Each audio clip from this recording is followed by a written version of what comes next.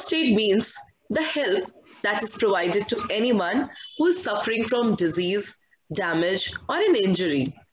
Globally हर साल road traffic accidents में 1.3 million से अधिक लोग मारे जाते हैं लेकिन इनमें से मेजॉरिटी डेथ्स लो और मिडिल इनकम कंट्रीज़ में से होती है और इनमें से 17 परसेंट डेथ्स अकेले इंडिया में होती हैं इसका मतलब है कि इंडिया में हर साल लगभग एक लाख पचास हज़ार लोग रोड ट्रैफ़िक एक्सीडेंट्स में मारे जाते हैं। इसका मतलब है कि इंडिया में हर साल लगभग एक लाख पचास हज़ार लोग रोड ट्रैफ़िक एक्सीडेंट्स में मारे जाते हैं। The international federation of red cross and red crescent societies IFRC ने 2000 में वर्ल्ड फ़र्स्ट एड डे की शुरुआत की थी। वर्ल्ड फ़र्स्ट एड डे हर साल सितंबर के सेकेंड सैटरडे को मनाया जाता है। ये साल, इस साल ये 11 सितंबर को हो रहा है। इस साल का थीम है first aid and road safety इसका मेन एम अवेयरनेस फैलाना है कि कैसे फ़र्स्ट एड इंजरीज को रोक सकती है और हर दिन क्राइसिस सिचुएशन में लोगों की जान बचा सकती है।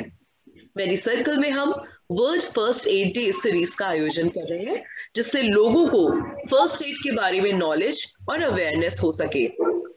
Such that a life is saved हम एक जान को बचा सकेंगे।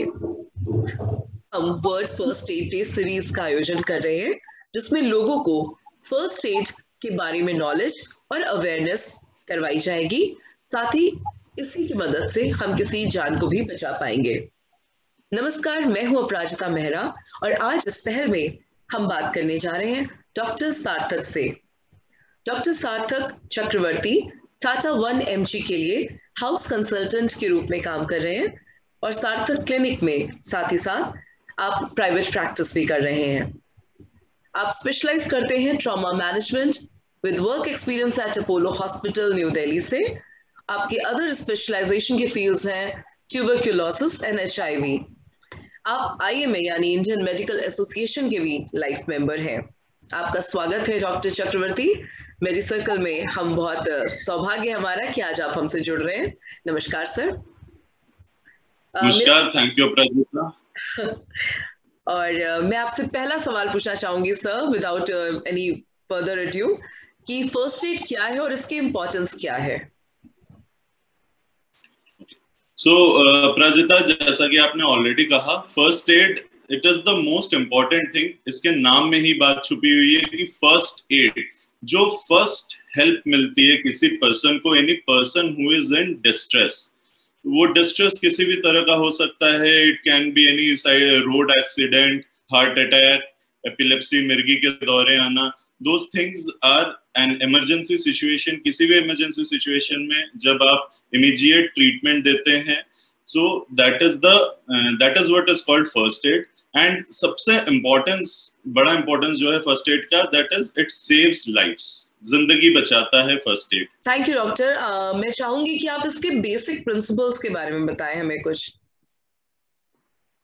राइट सो फ़र्स्ट एड का सबसे जो मेन गोल्डन रूल है the golden rule is to stay calm अगर इमरजेंसी का सिचुएशन है तो you should not panic stay calm stay focused but act quickly आपको तुरंत एक्ट करना है जो प्रॉब्लम हो रही है उसके ऊपर।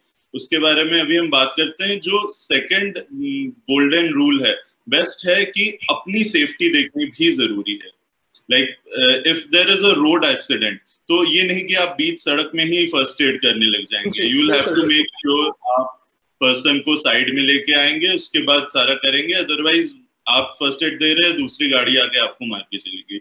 So that should never be the case first aid का मतलब ही है your safety the person safety and save life इसी के साथ साथ एक और बहुत इंपॉर्टेंट काम करना होता है that is E R S emergency response system इसको आप इन्फॉर्म कीजिए इसका मतलब है एंबुलेंस हो गया फायर ब्रिगेड हो गया जो सिचुएशन है पुलिस हो गई उस हिसाब से आप आ, उनको इन्फॉर्म करके फिर अपना फ़र्स्ट एड कंटिन्यू करते रहे ताकि आप उस समय तक के लिए you could make the person stable by the time help arise first है ही कि till you get any advance treatment from any hospital और एनी स्पेशल ट्रेन पर्सन जो एंबुलेंस आएगी उसमें पैरामेडिक्स रहेंगे उनके पास स्पेशल किट्स होती है।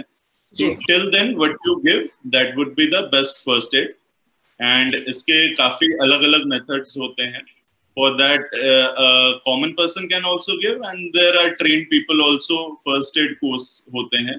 बट द मोस्ट इम्पोर्टेंट ये तीन रूल है कि look after your safety be calm and inform the emergency response system fantastic बहुत ही कमाल की तीन चीज़ें आपने बताई सर इसके अलावा कुछ बेसिक फ़र्स्ट एड प्रोसीजर्स होते हैं जो क्या हर व्यक्ति को जाननी चाहिए?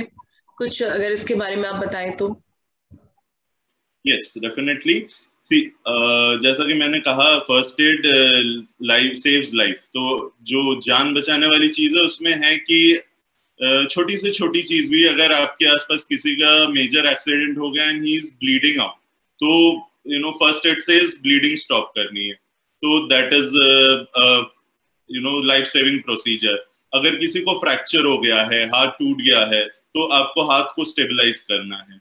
तो these are the procedures you should be knowing commonly ये सारी चीज़ें सबको समझ में आती है but there are other kind of emergencies जैसे इमरजेंसी हो सकती है चोकिंग किसी के गले में कुछ फंस गया हो सो so, ब्रीदिंग में प्रॉब्लम आती है। उसमें we do something call Heimlich manoeuvre पीछे से पकड़ के खींचना होता है तो जो चीज़ गले से फंसी है वो निकल आती है बाहर। इस चीज़ के लिए फिर आपको ट्रेनिंग लेनी ज़रूरी है। उसी तरह समथिंग कॉल्ड सीपीआर अगर किसी को सांस नहीं आ रही है आप उनको सीपीआर दे सकते हैं। आप लोग ने पिक्चर वगैरह में देखा होगा कि चेस्ट पे चढ़ के वन टू थ्री ऐसे करके पुश जाता है। कॉल्ड सीपीआर सो इस तरह के कुछ स्पेशल सिनेरियोज है जिसमें डेफिनेटली एक ट्रेन पर्सन की ज़रूरत होती है या जिसने बेसिक ट्रेनिंग कोर्स कर रखा है। अदर देन दैट मोस्टली हमें सिचुएशन के हिसाब से एक्ट करना है। बर्न्स है बर्न पे आप इमीडिएट रिलीफ के लिए अगर आपको कुछ भी नहीं मिल रहा है आप उस पर आइस लगा सकते हैं। इस तरह के और भी चीज़ें हैं जैसा मैंने कहा ब्लीडिंग हो रही है तो ब्लीडिंग रोकना है। नोज़ ब्लीड्स बहुत कॉमन है। काफ़ी लोगों को नोज़ ब्लीड्स होती हैं तो उस केस में भी आ, लोग क्या करते हैं कि ऐसे सर पीछे कर देते हैं। ये चीज़ नहीं करनी है। सर आपको सीधा ही रखना होता है नोज़ को पिंच करना होता है। वो ब्लड फिर उल्टा जा सकता है that can also cause you choking गले में जा सकता है प्रॉब्लम हो सकती है। ऑलराइट हाँ ये बहुत ही कॉमन मिसकंसेप्शन है। जी। राइट राइट इसी तरह के जैसे मिर्गी के दौरे अगर आते हैं काफ़ी लोगों में नहीं पीपल एपिलेप्टिक और उनको झटके आते हैं मुँह से फ्रोथिंग होती है वॉमिटिंग होती है उसमें सबसे इम्पोर्टेंट है आप और कुछ नहीं कर सकते उस समय के लिए क्योंकि कोई भी दौरा आता है वो एक से डेढ़ मिनट रहेगा फिर ठीक हो जाएगा। आप पर्सन को left lateral position we we call it left lateral position side wise लेटा दीजिए पीठ के बल नहीं लेटाना बिकॉज़ उसमें भी वॉमिटिंग हो रही है वो उनके लंग्स में जा सकती है सिर्फ़ उसी से डेथ हो जाती है जी सो छोटे छोटे इमरजेंसी प्रोसीजर अगर आपको पता है यू कैन लिव लाइफ अब जैसे कि आज और- इस आपके इस इंटरव्यू के माध्यम से ऑफ़ कोर्स ये जानकारी हमारे सभी मेडिकल सर्कल पे जुड़े हुए लोगों तक पहुँच रही है। लेकिन वैसे अगर जो लोग फ़र्स्ट एड के बारे में और जानकारी पाना चाहते हैं और अवेयर होना चाहते हैं तो ऐसे लोगों को क्या करना चाहिए? इसके बारे में हम कहाँ से ये जानकारी और नॉलेज पा सकते हैं? बिल्कुल अपराजिता। मैं एक बार इस चीज़ को कट कर दूँ एक चीज़ उसमें ऐड करना था पिछले वाले आंसर में। हाँ हाँ बिल्कुल। श्योर बताइए बताइए। ये अ, मैं जस्ट कंटिन्यू कर रहा हूँ.